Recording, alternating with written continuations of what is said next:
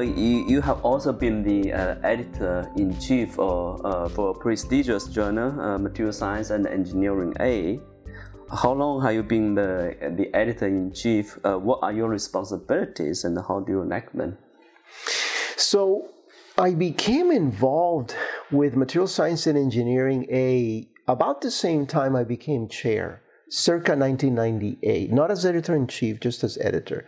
Um, this was important to me because even as a graduate student, I always found that MSEA, as we call Material Science and Engineering A, Structural Materials, was a journal that then the editor, I still remember, was uh, Professor um, Herb Herman from SUNY.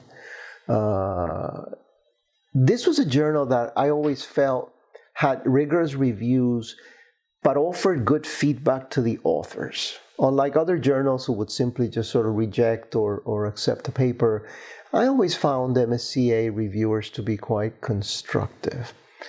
And so when the opportunity came, uh, I was certainly flattered and, and willing to help the journal. Over the years, and I can't really remember when I became editor in chief, but um, well, actually, I do because this will be, I'm going on to my 10th year. Mm-hmm. So it was then in 2010, around that time, that uh, they must have asked me to become editor in chief. And as editor in chief, my responsibility is, uh, on one level, like other editors, um, um, process papers, assign them to reviewers, and make mm-hmm. decisions on their acceptance, modification, or rejection. But as editor in chief, it, it, includes the responsibility of working with the other editors to set policies, change scope, adjudicate conflicts. Um, and it's been a it's been a terrific team. In fact, uh, um, this today my one o'clock meeting is the editorial board meeting for MSEA. Um, so, uh, what is your vision for, for the journal in the next like uh, five to, to ten years? So MSEA has increased dramatically in terms of impact factor. Um, our goal is to continue to increase the impact factor. I think it's around four right now. We'd like to be have an impact factor closer to that of ACTA, which is closer to 10. Um, continuing to serve as um, a unique place where research on structural materials is presented we in recent years the additive manufacturing community has found MSEA a very attractive venue in part because our focus on the actual material science and engineering issues of aem is unique. It's not just the process but actually the phases the microstructure the uh, non-equilibrium uh, issues related to am and so continuing to work on cutting edge fields um, multi-component um, alloys is also becoming um, quite popular in the journal if you look at the paper submission. Mm-hmm. So we'll continue to both explore strategic areas as well as um, make sure that the community sees us as the place to publish research on structural materials.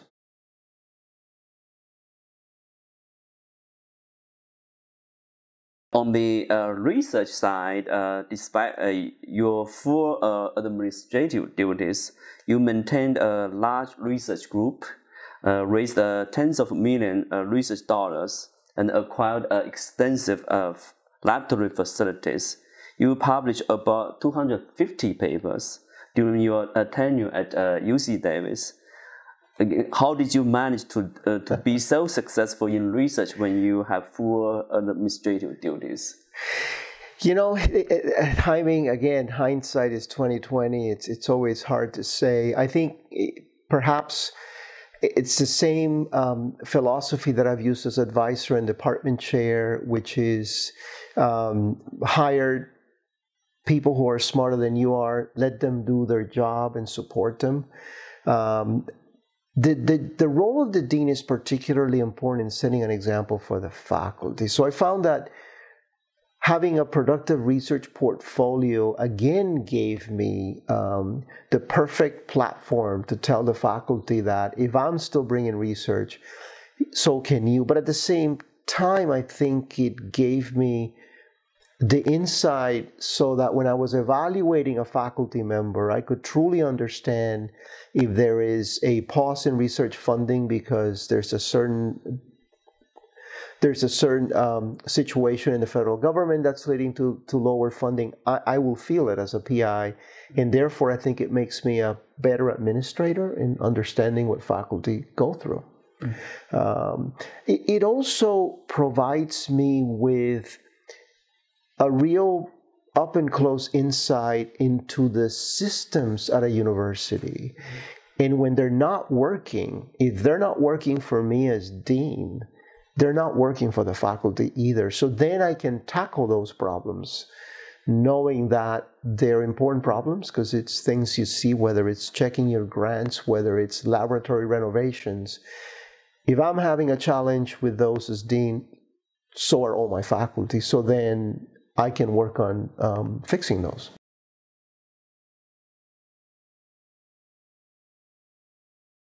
You were elected as an uh, ASME fellow in 2006 and in 2013 you received a number of very prestigious uh, awards. You received the ASM International uh, Gold Medal Award and the Edward Demille Campbell Memorial Lectureship. You were elected as a fellow of uh, Materials Research Society and um, you were elected to National Academy of Engineering, one of the highest uh, honors for engineers. According to NAE, you were elected for your contributions to novel processing of metals and alloys and for leadership uh, in engineering education. Uh, can you give more details for, for that? It's ironic, isn't it, that 2013 ended up being such a special year? um, I, really, I think there's a layer of randomness, the fact that all these awards came together in 13. Uh, had no way of predicting that. Many of these awards and nominations are done without your knowledge, so needless to say, it was a huge surprise in, in many, if not all cases. And I think it was um, culmination of the great work that the group um, had pursued. Um, always loved having a very um, intellectually rich culture with the graduate students, not just in their own research, but encouraging them to work with each other. Uh, often I tell the students, you're going to learn as much from me as you are from your colleagues. So work with them, collaborate with them, help them when they need help because someday you will need help. And I think that turned into some very productive um, uh, interdisciplinary papers that would have not been possible if everybody was just doing their own work and not really um, collaborating. Um, creating that atmosphere in the research group um, also involves getting to know people personally. So, as you know, you've been to many a barbecue at my house, mm-hmm. bringing them over, uh, and that goes back to my days as a graduate student. Right? I love being able to interact with the faculty at a different, more personal level, and so I've continued to do that to this date. And uh, that's the day I cook for everybody, and uh, it's an opportunity to get to know people, um, which is just so important in everything we do.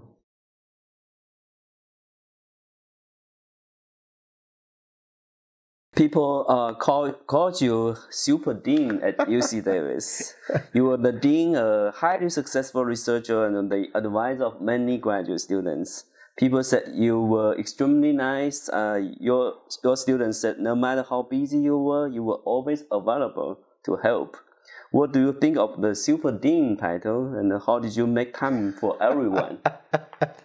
Uh, let me just say that I've never heard of that title, by the way, and it. Um, it brings um, it brings to memory uh, an interesting uh, interaction that I had with my son, and he was very young, actually both son and daughter.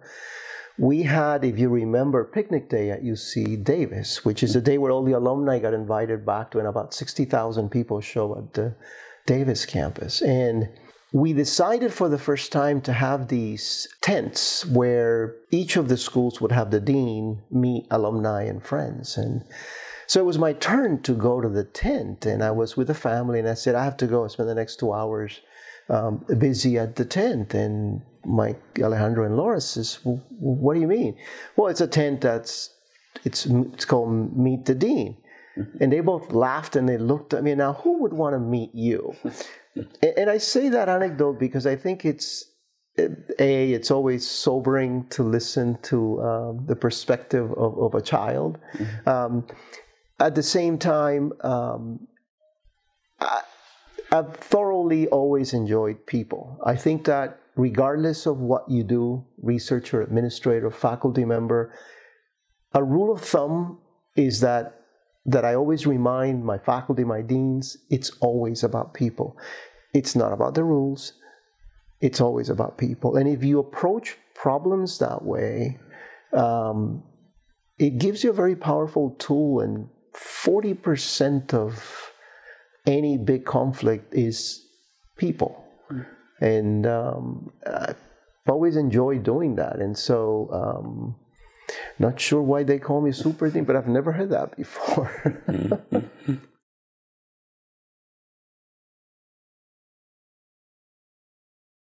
You were the uh, uh, provost, the executive uh, vice chancellor for two years uh, at UC Davis as UC uh, Davis transitioned to a new uh, chancellor. You mentioned that there was an interesting story to share. Can you tell us a, a, little bit more details about that? Oh yes, that's that was a very stressful um, part of of my life at the time. So. Um, the provost and executive vice chancellor who hired me, uh, uh, Virginia Hinshaw, who was um, fabulous, as I said, uh, left to become the president of the University of Hawaii. Shortly before her departure, Virginia and then Chancellor Larry Vanderhoef asked me to step in as provost and executive vice chancellor while they did a search. And, you know, I thought about it, and what I said to them was, you know, you have some exceptional deans in place who can do this. I have a full research load. I'm in the middle of hiring 100 faculty, and I have two young kids at home. I would rather not do this. Um, the they decided to appoint a search committee who again approached me and I said no. And and there was a third attempt to get me to accept it. And again, I said no. We went through this search, and in the middle of interviewing candidates, I went to meet with the chancellor. And I never forget the day I walked into his office and I said, Okay, Larry, I'm here to tell you um, what I think. And he said, What do you think about what? The candidates? I said, Well, yeah, isn't that what we're meeting? He said, No. I said, Well, why are we meeting? He says, Because you need to do this job. and it, was, it, profoundly um, flattering because I truly thought that um, my colleague from the College of Ag and Environmental Sciences would have made a fabulous provost EVC. So eventually I said, okay, can you give me some time? Let me talk to Julie. This was on a Wednesday. And he said, okay, can you tell me Friday?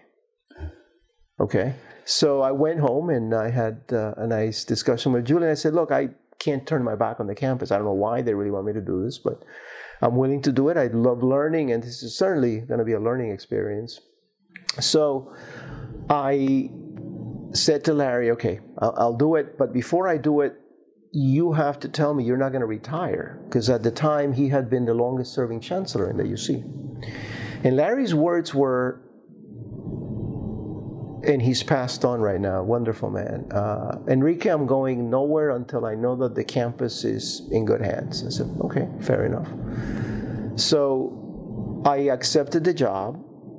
I'm driving my daughter to volleyball on a Sunday, and Larry calls. We're ready to make the announcement to campus. Let me read it to you. And the announcement reads, da da da da Professor Enrique Lavernia for a, an appointment as Provost EVC for up to two years. And I said, Whoa, Larry, who said two years? I said, I agreed to do this for a year. I said, Oh, well, you know, if we do two years, I can make what's called a term appointment, which means you don't carry the title interim. Mm-hmm. yeah, if beyond two years there needs to be a search, but it's important that you don't carry the title interim because you make budget decisions. I said, I don't know, Larry, that makes me nervous. I said, oh, don't worry about it, it'll be fine.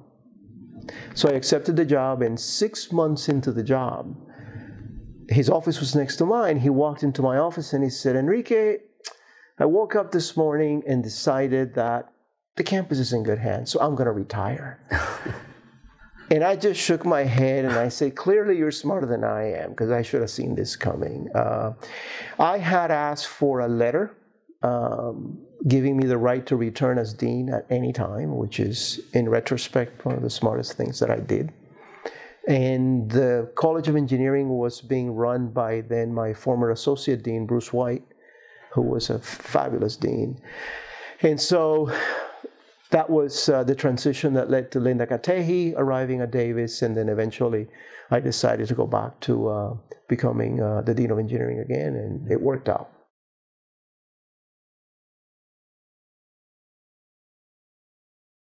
So in uh, 2015, about uh, 13 years after you left UC Irvine, you came back to UC Irvine. Uh, you left as a department chair, and then you came back um, as a provost and the executive uh, vice chancellor. Coming back after 13 years, how, how did you feel? so eh, I was um, getting ready to go on sabbatical at Davis. And um, Irvine called um, because they were looking for a provost EVC. And that was not a hard decision because um, we enjoyed Irvine very much. Both kids had left Davis by then. Um, Southern California is certainly a much more interesting place to be uh, from a cultural and uh, um, geographical standpoint. Um, and so it was easy to accept the invitation to apply. It was very um, easy. I my interactions with then Chancellor Gillman, who is today the Chancellor, were very easy and uh, clearly somebody I could work with. Mm. And as my daughter said to me, "He says, wait a second, you're giving up a year sabbatical to go do this job that was so tough the first time." So you're not very smart, are you? but it's um, it, it was a great decision for both of us uh, to return, and it's been uh, it's been almost five years of uh, just tremendous energy and excitement. So, as provost, uh, you are UCI's uh, chief academic and uh, operating officer with primary responsibility for the university's teaching and research enterprise, which includes 16 schools, nearly um, 5,500 faculty and more than uh, 190 degree uh, programs. What are the opportunities and the challenges uh, for UC Irvine? UC Irvine is in a very um, uh, exceptional um, time and place in its current state. We're in the process of implementing a five year strategic growth plan that involves adding 500 new faculty in five years, um, becoming the campus of choice for undergrads, um, increasing fundraising and research expenditures. And in all fronts, we're making uh, just tremendous progress. Just this year, we announced that we had 120,000 applications for the freshman class, oh. second in the country only after UCLA. Uh, which is incredible because that growth has occurred in the last uh, five, six years. We are um, have broken fundraising um, uh, records. We're in the midst of a two billion dollar campaign and have already raised eight hundred and forty million. Um, Orange County is part of the reason why UC Irvine so successful. It's a 3 million people is the 6th mm-hmm. largest county in the country. It's wealthy, it's diverse, and it's engaged. So, unlike some of our sister campuses that are in constant um, conflict with the communities they are in, uh, Orange County loves UCI, and that makes a big difference when we want to grow, build, expand. It's it's not a battle; it's mm-hmm. uh, support. So it's been a lot of fun to be at UCI at this time. Mm-hmm.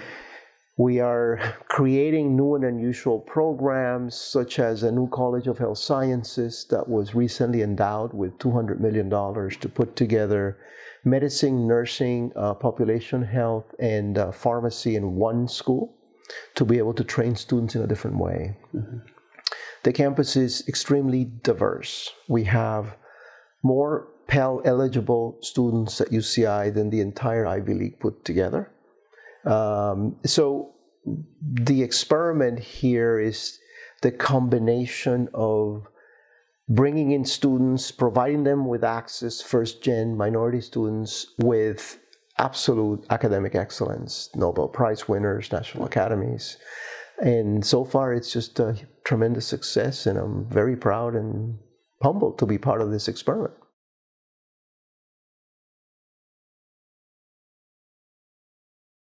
In addition uh, to being the provost, uh, you are a distinguished professor of material science and engineering. Uh, you will still maintain your high research productivity and your position as the editor in chief for MSEA. You have published uh, more than 600 uh, journal papers and 200 uh, conference publications and been awarded 11 patents on topics ranging from nanomaterials to aluminum alloys. Now you are a uh, super provost, basically. How do you find time to do all of these? Oh, you know, there's no secret. Timing is um, um, perhaps part of my hyper personality. Um, I like to get up extremely early, as you probably know from my email hours. But again, it's uh, um, surround yourself with really smart people. Let them do their job. Encourage them um, and again, as an academic, being continuing to be, to, to be productive gives me a great platform to get the faculty to listen because they don't see me as just an administrator. In the academic world, they say that once you become an administrator, you go over to the dark side, right? so I've been trying not to go over to the dark side. And as dean, I've been able to work on issues of space, new buildings, because I know as a faculty member that we need to do that. Um, and so it's it's been tremendously um, um, enjoyable. Um, in the last four and a half years, we have hired 13 new deans, six vice chancellors, campus counsel, chief of police, and a new director for a museum that we're starting. And it's just not the numbers, it's the fact that in every case we've hired our top candidate. And I think the reason is people see the environment, the work environment, and the energy at the campus, and they want to join. And it's um, it's just been terrific.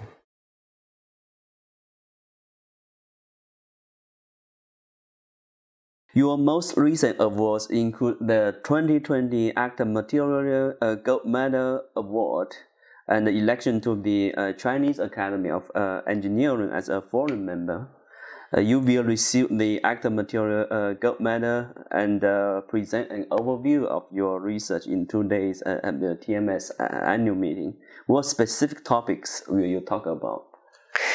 So, what I am going to attempt to do during the ACTA lecture, and, and I must tell you uh, how um, humble, flattered, and surprised I was. ACTA has always been uh, the gold standard. It's what I'd like MSEA to, to um, turn into.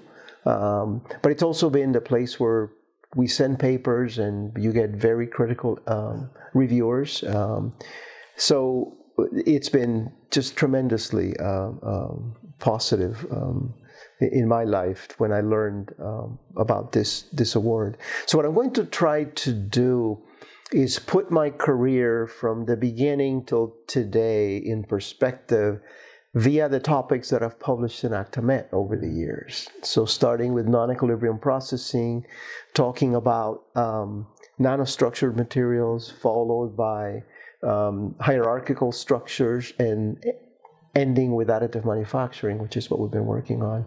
And I have 20 minutes to do it. So, it's been a tremendous uh, challenge. But again, um, Dr. Baolong Zheng, Dr. Yizhang Zhou sitting with me looking at papers and their amazing work at putting the slides together is uh, the reason why I'm able to give it.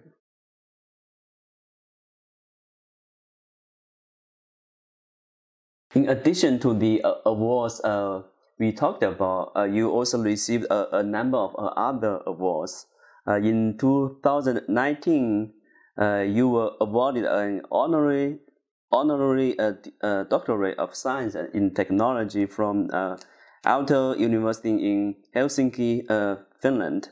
in 2018, you received uh, the Distinguished Engineer Engineering Educator Award by the National Engineers Council.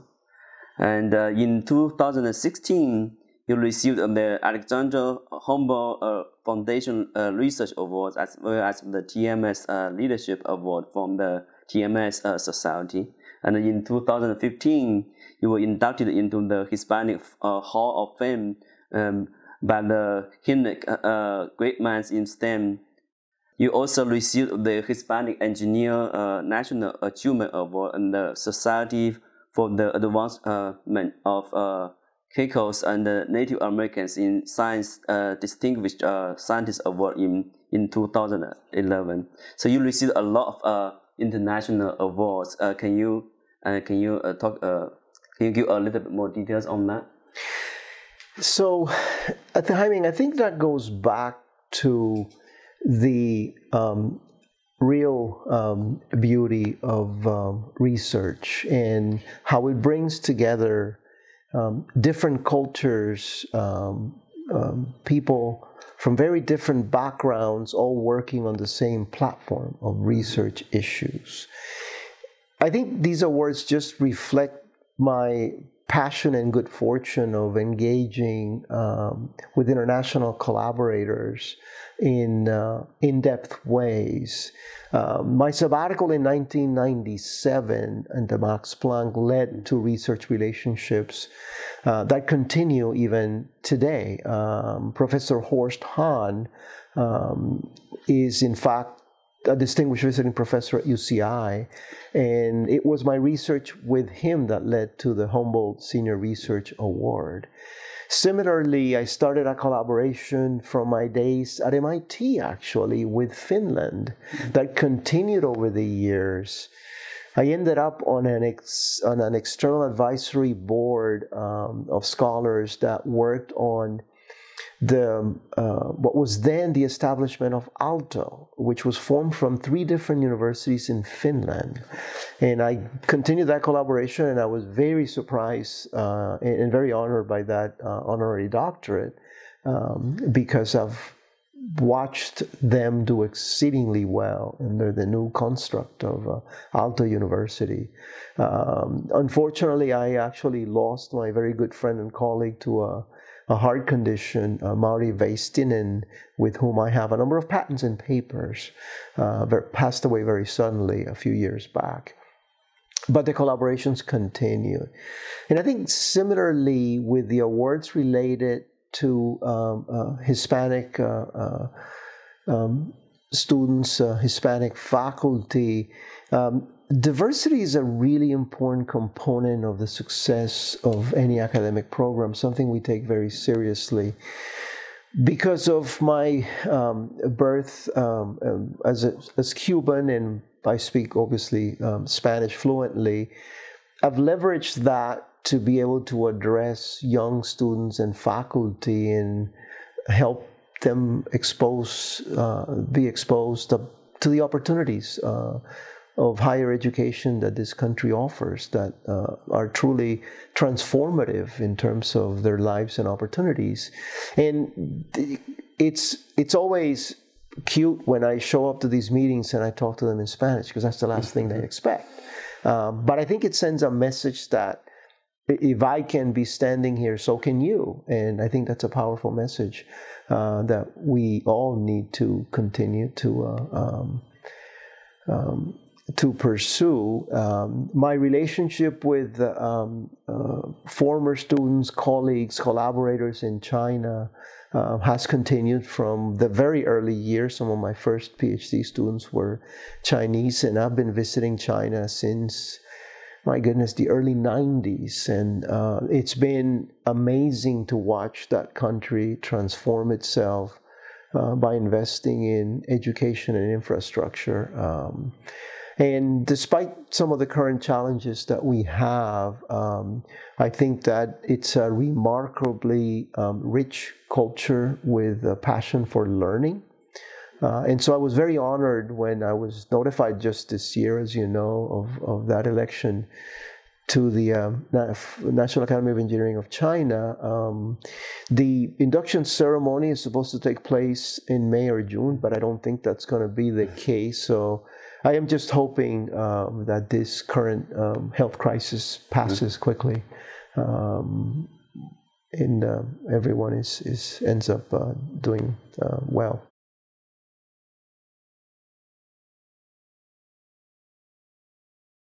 So you are a member of uh, AIME's uh, member society TMS, as well as a member of ASM, uh, ASME, and uh, MRS. Uh, in fact, you are a fellow of all of these uh, societies. When did you first um, hear about AIME and uh, TMS? Uh, how did you, how did your involvement progress over the years? You know, I um, credit um, so TMS is a society that I've belonged to for the longest. I think I, I think I'm a member since 1982 if the record serves me right. And that's when I started as a graduate student.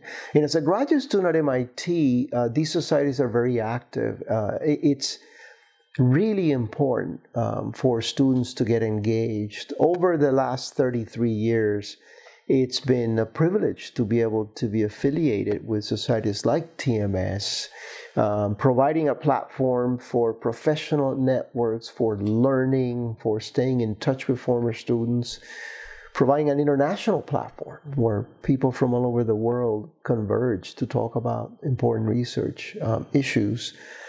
So I can't stress enough how important it is for students.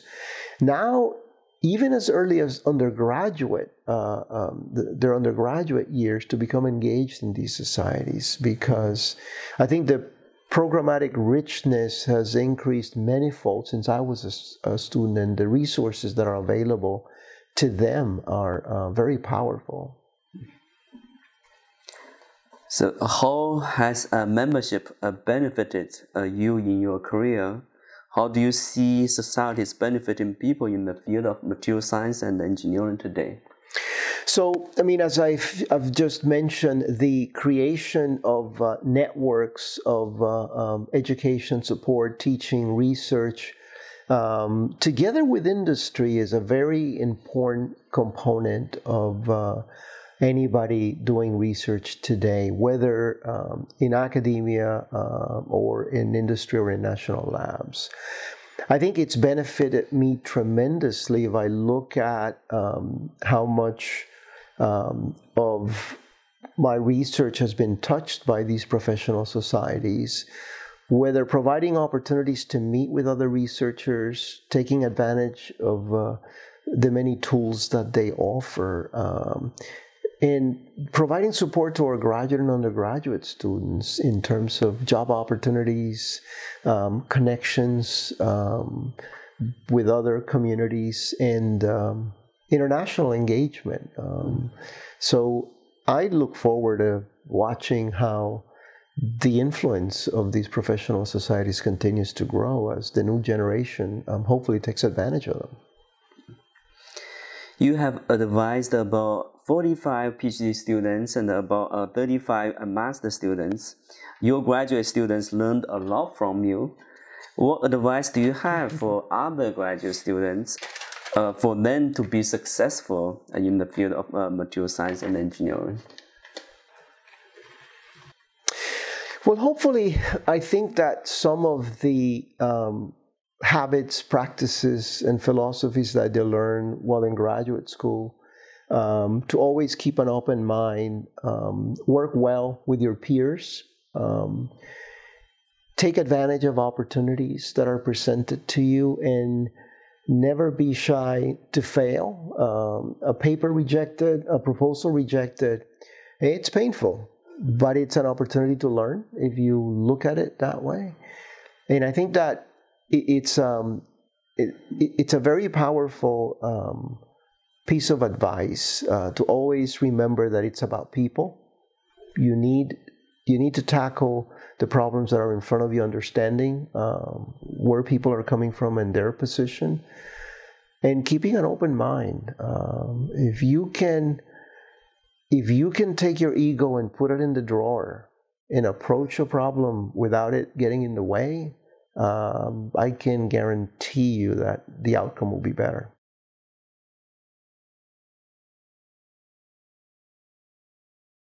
In your opinion, what can we do uh, to attract young people to the field of material science and engineering?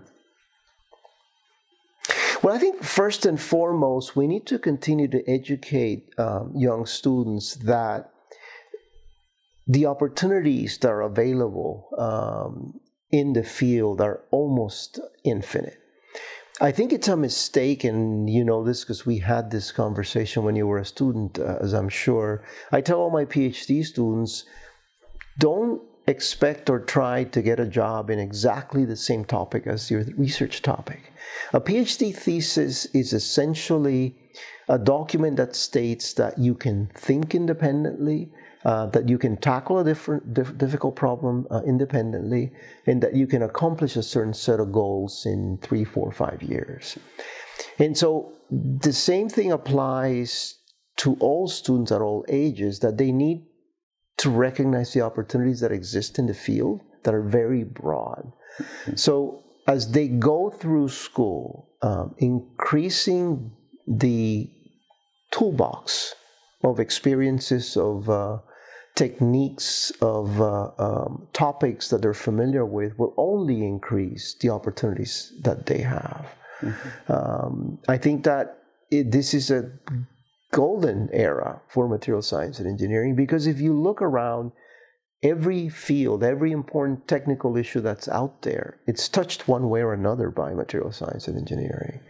So, um, making sure people understand that uh, is important we are at a disadvantage because, and societies are working on this, because material science and engineering is not a topic that high school students are familiar with. High school students are familiar with mechanical engineering, architecture, medicine, law. And so it is not a career that they choose coming into university. Mm-hmm. Uh, and so we need to do everything we can to make sure that they um, as early as possible, uh, high school, middle school, even elementary school kids are exposed to these um, these concepts. Because quite frankly, the beauty of the field, unlike any other engineering field that I know, is the, its unique ability to combine elements of physics, elements of chemistry, elements of mechanical engineering um, in the same field in tackling an interesting problem, uh, as opposed to looking at these problems from a purely mechanical engineering perspective or a purely chemical engineering perspective. The material scientist is really um, uh, allowed to use tools from all these fields to tackle a problem. And I just think that's fascinating. Is there anything else not, not you would like to add? So I, I, I do. I will end with um, there is a book that I first read as dean and that I now distribute to every dean, vice chancellor, or even senior faculty that we hire. And it was written by Stephen Sample, the former president of USC. And it's called A Contrarian's Guide to Leadership. And that's one of my favorite uh, books that talks about a very different way to think and pursue leadership that I happen to believe is, is is quite accurate. So I recommend it.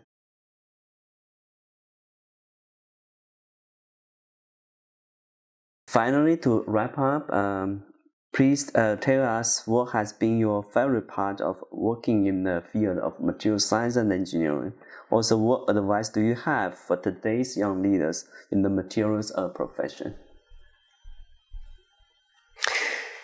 You know, the greatest um, pleasure continues to be um, the communities that, that I interact with the students, the faculty, um, the staff uh, from all over the world.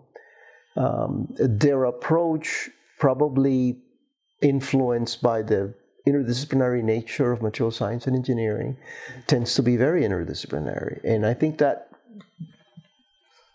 I think that helps establish um, a field that um, is very attractive. My advice is to students continue um, to explore, continue to learn. This is a unique time in your life, and I know you probably hear this many times over, but it really is to study things that interest you uh, and let your passion for learning um, drive you and surround yourself with people who contribute to the richness of your life rather than detract from it. What a fascinating career uh, you have had, and what a pleasure to spend this time with you. Thank you so much, uh, Dr. Lavernia, for, for your willingness uh, to share your story with uh, AIME. Thank you. Pleasure has been mine.